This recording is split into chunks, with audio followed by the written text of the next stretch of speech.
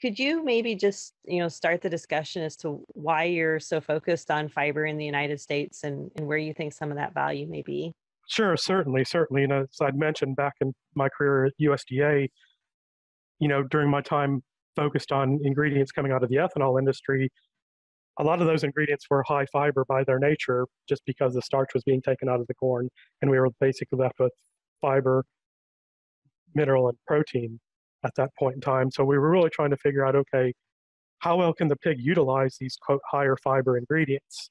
Now, that being said, we do know that there is you know, a greater abundance of fibrous feedstuffs in this distillers grains and ethanol byproducts.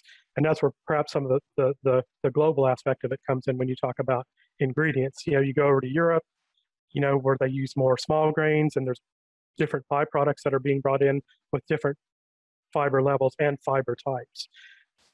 You know, and when you think about fiber, I think a lot of it comes back to the definition of what are we calling fiber, right?